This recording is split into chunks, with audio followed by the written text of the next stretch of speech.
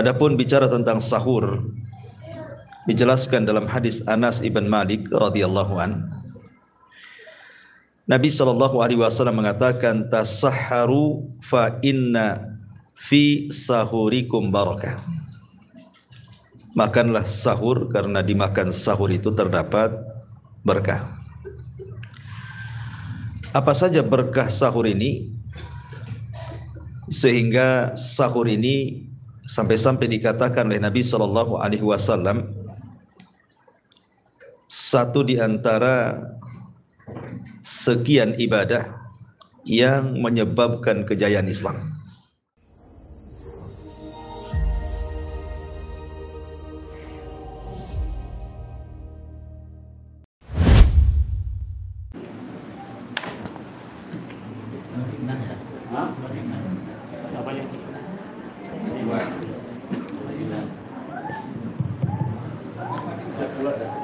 Kita mulai. Bismillahirrahmanirrahim. Assalamualaikum warahmatullahi wabarakatuh. Bihamdillah wassalatu wassalamu ala rasulillah wa ala alihi wa sahbihi wa mawalah wa la hawla wa la quwata illa billahi wa ba'du. Alhamdulillah di malam hari ini kembali kita bisa duduk untuk bertolak ilmi. Dan kita lanjutkan kajian kita masih membahas seputar Ramadan. Dan kita masuk pada fikihnya. Baik masyiral muslimin yang dimuliakan Allah Azza wa Jal. Kita mulai dari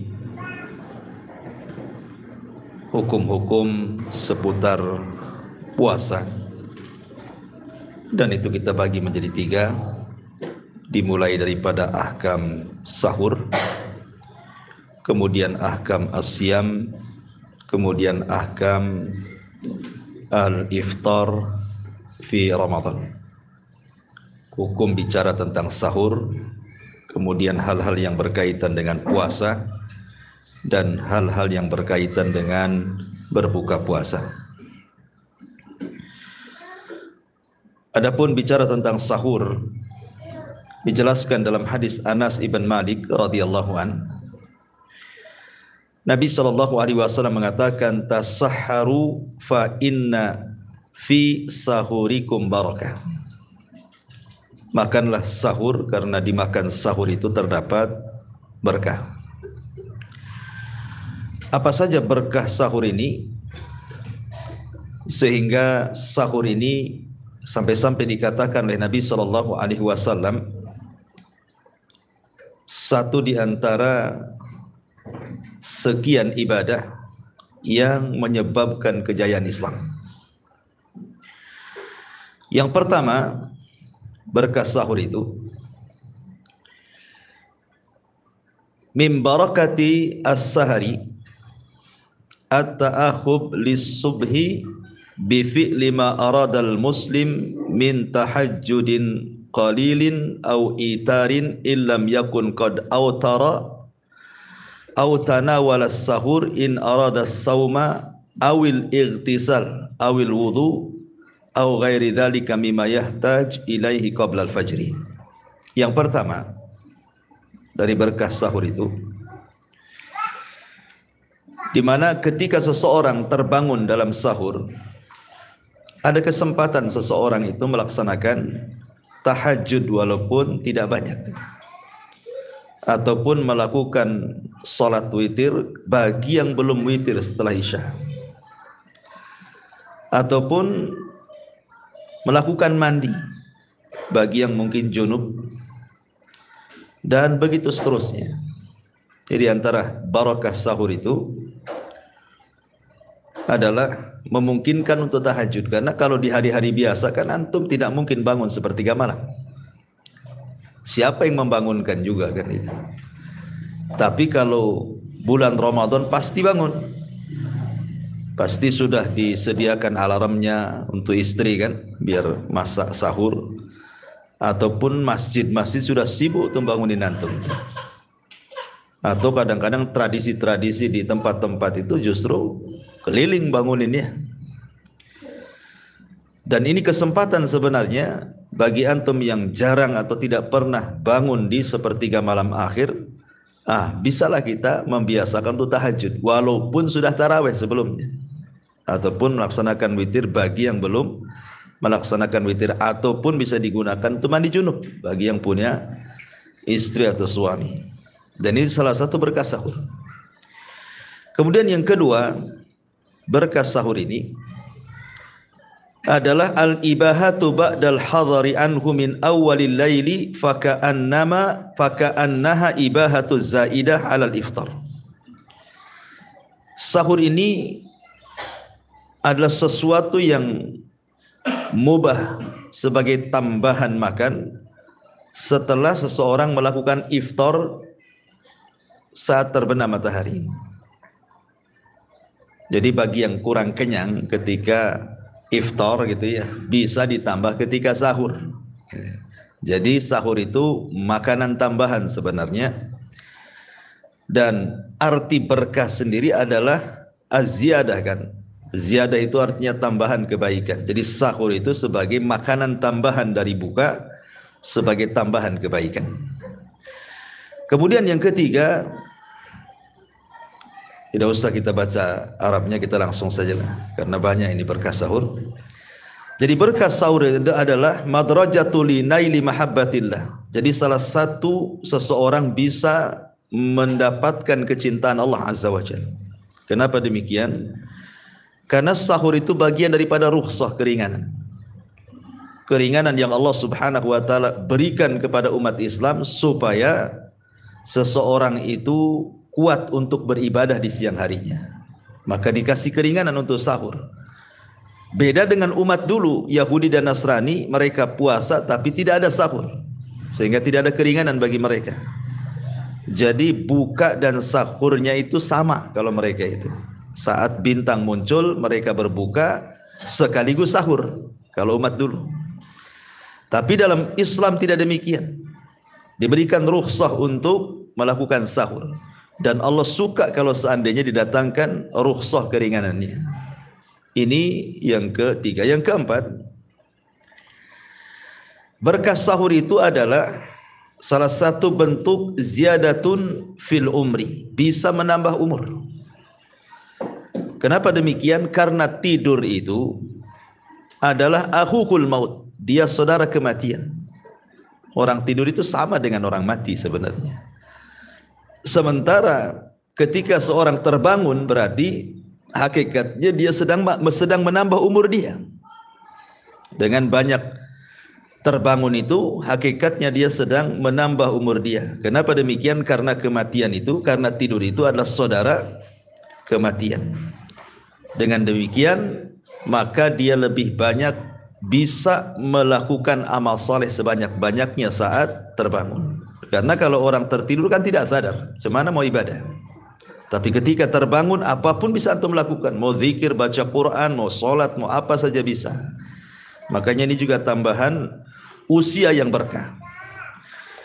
Kemudian yang nomor lima, sahur juga at-taqawi alal ibadah, bisa menguatkan ibadah.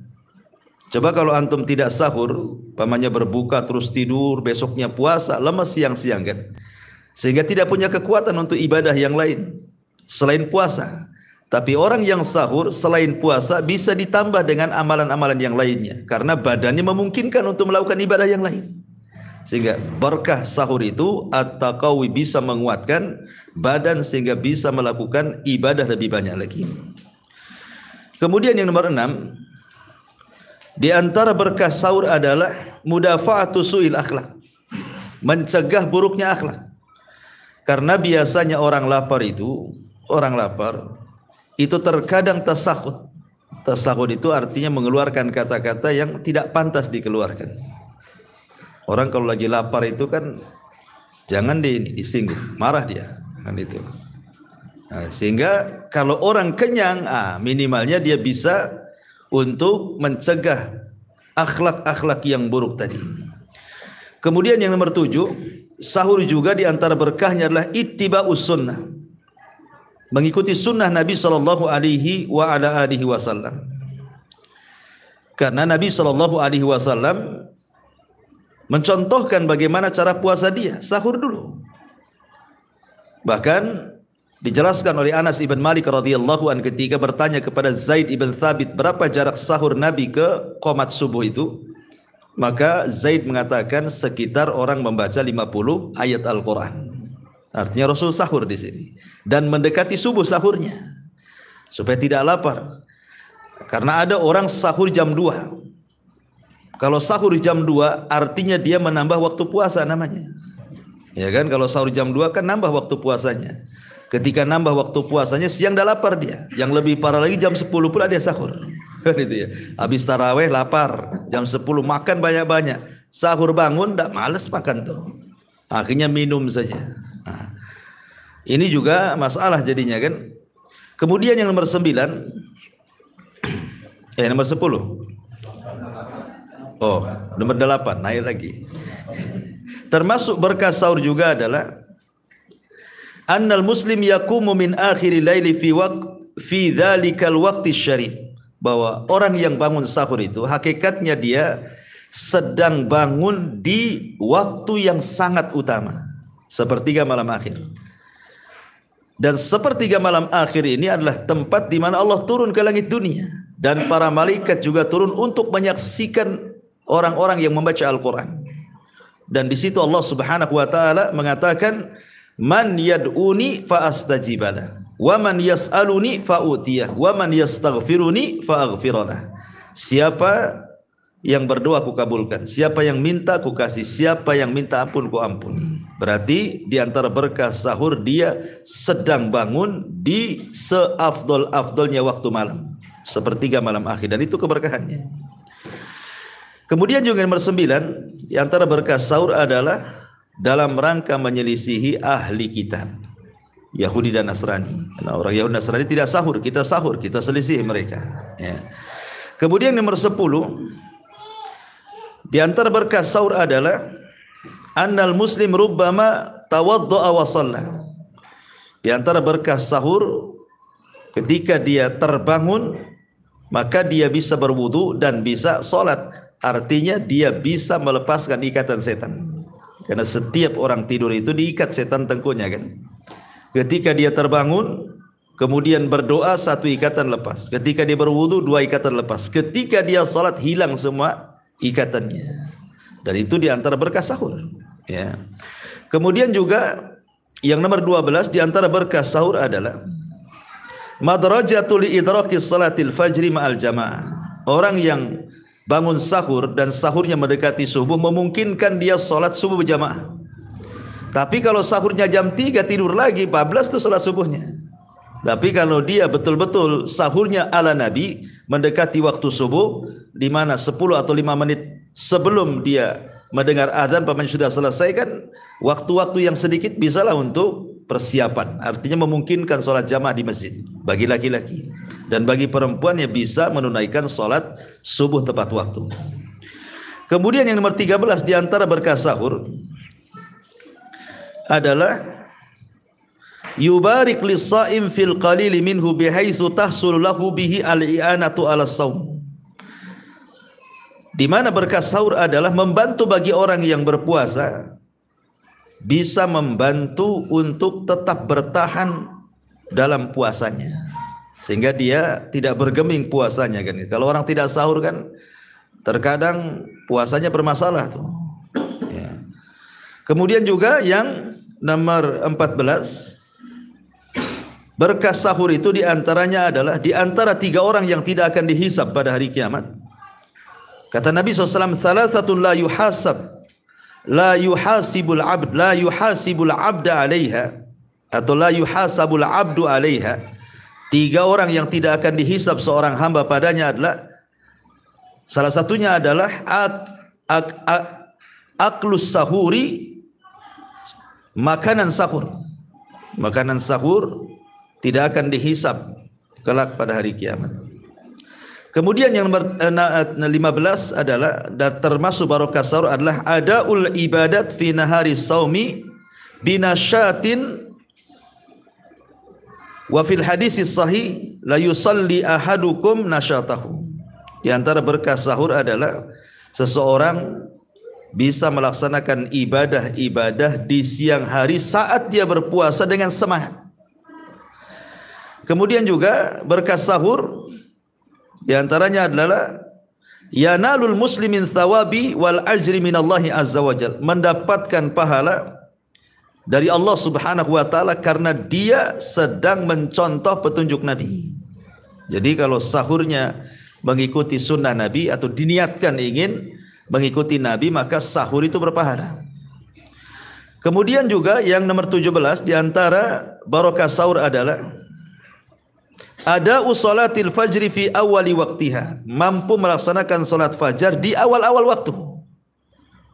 Selain bisa berjamaah, dia pun bisa melaksanakan solat fajar tepat waktu dan itu adalah ibadah yang sangat utama. Ketika Rasul ditanya amalan yang paling afdal, Rasul mengatakan as-salatu ala waktiha salat tepat waktu. Kemudian juga di antara berkah sahur adalah untuk memperbaiki mengingatkan orang yang belum niat. Umpamanya malam harinya dia lupa niat puasa. Maka ketika sahur, ah itulah dia bisa melakukan niat puasa karena puasa wajib dengan puasa sunnah beda. Kalau puasa sunnah bisa niat dadakan. Antum pagi-pagi gitu ya, nggak ada makanan yang dimakan. Ah sudahlah saya puasa saja. Boleh boleh kalau puasa sunnah. Tapi kalau puasa wajib tidak boleh harus ada niat di malam harinya. Karena Rasul mengatakan malam yubayiti siam. Siapa yang tidak niat di malam harinya, maka tidak dianggap puasa di siang harinya. Tapi yang dimaksud niat di sini dalam hati tidak perlu diucapkan. Ya.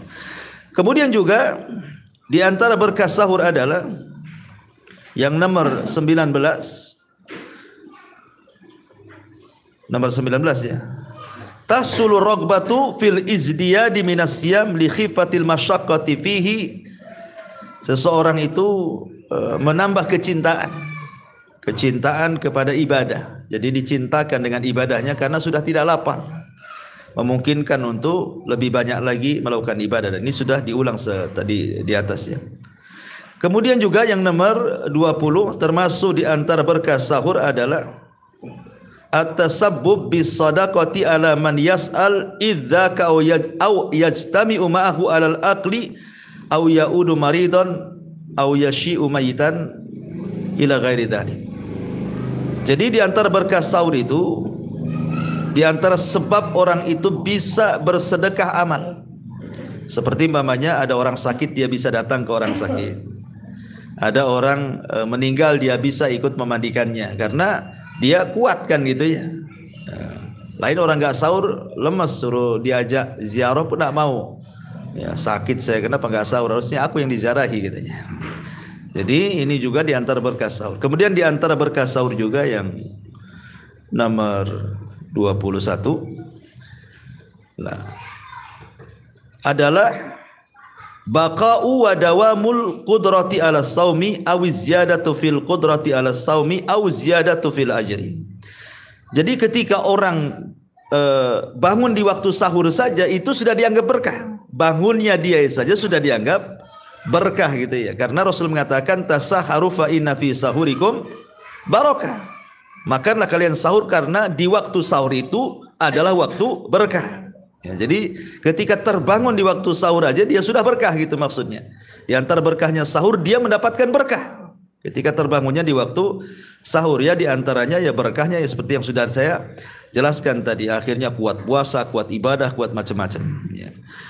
Kemudian juga di antara berkah sahur sini Ya, banyak sebenarnya. Taib. Sekarang masuk dari hikmah mengakhirkan sahur. Di antaranya hikmah mengakhirkan sahur itu supaya adamu iltifai nafsi ilal akli wasyurbi hina syuru fi saumi. Di antara hikmah mengakhirkan sahur supaya ketika kita mulai berpuasa sudah tidak terbayang makanan minuman itu. Tapi kalau antum sahurnya jam 12, nanti jam 12 siang sudah kebayang tuh. Minum enggak? Minum enggak? Gitu ya. Karena sahurnya tidak diakhirkan, tapi kalau diakhirkan menjelang subuh kan sudah enggak kepikir lagi makan tuh. Ya. Kemudian juga di antaranya hikmahnya supaya tidak puasa di luar waktu. Ya, Karena kan puasa itu kan jelas waktunya saat terbit fajar sodik. Kalau sahur jam 3 artinya antum puasa di luar waktunya tuh. Belum waktunya sahur sudah puasa. Nah, itu kan masalah tuh. Ya. Menyelisih sunnah Nabi jadinya kan. Ataupun di antara hikmah sahur ketika mengakhirkan sahur supaya tidak menambah jam puasa dan itu mengakibatkan lapar di siang hari jadinya. Nah ini juga di antara hikmah-hikmah mengakhirkan sahur. Lah adapun mengakhirkan sahur itu maksudnya jam berapa antum mulai makan itu? Ah inilah hadis yang sudah saya baca di awal ketika Anas bertanya kepada Zaid ibn Thabit berapa sahur jarak sahurnya Rasul ke adzan subuh maksud adzan subuh ini ke komat subuh. Karena istilah adzan juga diartikan komat. Seperti Rasul mengatakan baina adzana ini salat di antara dua adzan itu salat maksudnya adzan dan Komat artinya lafad azan itu bisa diartikan komat. Jadi Anas bin Malik bertanya kepada Zaid, Zaid kan kau sudah pernah sahur bersama Nabi? Dari jarak sahur Nabi ke komat subuh itu kira-kira berapa tuh? Maka Zaid mengatakan qadra khamsina ayat seperti Anda membaca 50 ayat Al-Qur'an. Nah, cobalah uh, di rumah antum baca Al-Baqarah 50 ayat, ambil jam baca setar tartil kira-kira berapa itu waktunya? Ya, saya pernah melakukannya ya, rupanya menghabiskan waktu sekitar 20 menit. Kalau saya sendiri lah ya. ya kalau antum tidak tahu ya. ya. Kalau saya pribadi 20 menit. Nah, tapi yang membaca itu maksudnya yang sudah bisa baca Quran tartil. Jangan pula yang tak bisa baca Quran nanti tak bunyi. Ya. Artinya yang memang bisa membaca Quran, lihat kalau saya pernah ya sekitar 20 menitan. Berarti atau kita genapkan saja 30 menit. Berarti sebelum komat itu 30 menit sebelum komat, ah di situlah setat kita makan. Ya. Jadi ketika teng azan saja selesai antum sahur. Nah di situlah antum sudah memulakan sahur. Karena jadwal yang ada imsak 10 menit sebelum azan antum berhenti itu kata Syekh Utsaimin suatu yang bid'ah tidak ada contohnya di zaman Nabi. Karena yang memulai memulaikan memulakan seseorang itu puasa atau istilah kita imsak gitu ya, berhenti dari sahur, itu ketika azan subuh. Makanya Rasul mengatakan azan eh, makanlah minumlah saat mendengar azan Bilal, tapi berhentilah makan dan minum saat mendengar azan Ibnu Umi Maktum. Bilal ini azan pertama dalam subuh. Ibnu Umi Maktum azan subuhnya. Kata Rasul, selama kau mendengar azan Bilal, azan pertama subuh, makan, makan, makan, sahur silakan. Tapi kalau sudah dengar azannya Ibnu Umi Maktum, stop karena itu azan subuh. Dari sini kita tahu bahwa setar orang itu puasa di azan subuh. Maknanya akhir daripada sahur itu di azan subuh gitu maksudnya. Ya, jadi kalau hanya sekedar imsak 10 menit, antam saja makan. Apalagi pakai alarm-alarm gitu kan. Nah, enggak masalah ya, biarin aja alarm ya. Antum makan saja. Tapi masyurul muslimin yang dimuliakan Allah Subhanahu wa taala. Ya. Sekarang yang jadi polemik adalah hadis Nabi sallallahu alaihi wasallam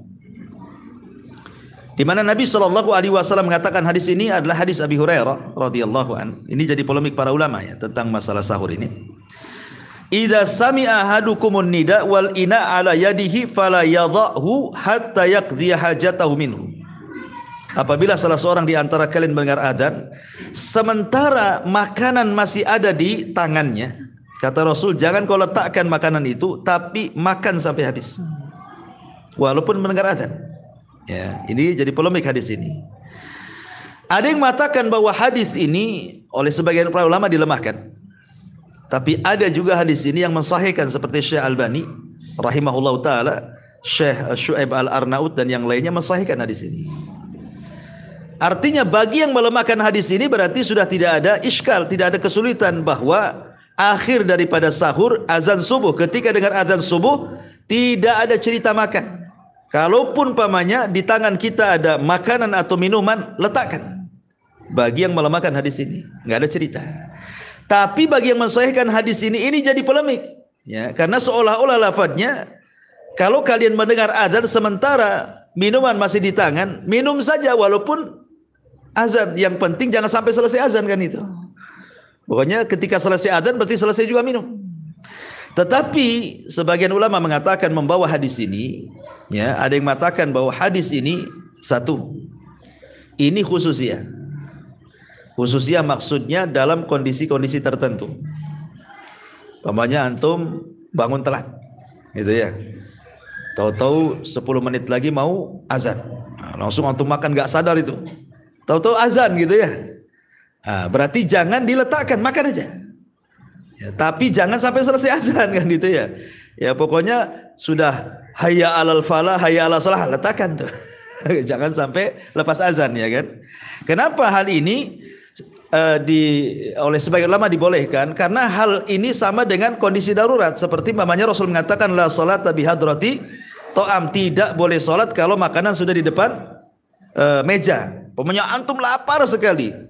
Tahu-tahu azan. Satu sisi makanan depan mata. Antum tak makan dua hari. Nah, kan masalah tuh. Kata Rasul, makan dulu. Nah, jangan pedulikan azan itu. Ya. Nah, dalam kondisi-kondisi seperti ini, bisalah hadis tadi dibawa kepada eh, kondisi-kondisi uh, tertentu. Ada sebagian lama mengatakan seperti itu. Tapi ada juga yang mengatakan maksudnya apabila kalian mendengar azan sementara uh, bejana di di di tangan boleh jangan diletakkan makan itu. Maksudnya isyarat kepada azan pertama bukan azan yang kedua. Maksudnya azan Bilal. Nah, berarti kan belum masuk subuh. Ya. Atau maknanya bagi yang ragu-ragu apakah muazin itu azan tepat waktu ataukah belum waktu sudah azan? Nah kan itu ya. Nah, pamannya ah ragu-ragu masa jam segini sudah azan? Tengok belum waktu subuh ini nah, berarti makan saja berarti ibroh bukan azannya tapi ibroh waktu fajar sodiknya gitu maksudnya nah, kalau ragu-ragu seperti itu ah, makan saja tapi kalau umpamanya yakin gitu ya bahwa muazin ini sesuai dengan jadwal waktu yang disepakati pemerintah, maka jangan dilanjutkan. Ya, letakkan makanan itu. Jadi lanjutkan, itu maksudnya ya. Ya, dan sebaiknya uh, menurut jumhurul ulama gitu ya, mayoritas para ulama mengatakan sebaiknya berhenti di waktu azan. Jangan dilanjutkan. Ya sebaiknya berhenti di waktu azan. Walaupun piring masih di tangan ataupun minuman di tangan ketika azan letakkan itu lebih ikhtiyat hati-hati kehati-hatian supaya jangan masuk ke polemik ulama nah, itu ya kalau berhenti kan nggak masuk ke khilaf ulama sehingga puasa kita ini lebih tidak ragu-ragu lagi tentang sah dan tidaknya. Nah, pasti sah gitu ya. Nah ini juga di antara uh, hikmah seputar sahur. Ya karena sahur itu bicara makan dan malam ini juga akan makan maka sampai di sini kajiannya. Kan itu karena ada nasi berani alhamdulillah. Ya subhanakallahumma bihamdika syadu an la ilaha illa anta astaghfiruka wa atubu Allah taala assalamualaikum warahmatullahi wabarakatuh intinya bahwa tolong berada berakhlak kepada Allah membahas tafsir dari surah Al-Imran lahirlah Imam Muslim, Abi Dawud, Tirmidzi, Ibnu Hibban. Jadi ketika Yunus alaihi salatu wassalam terkena undian itu,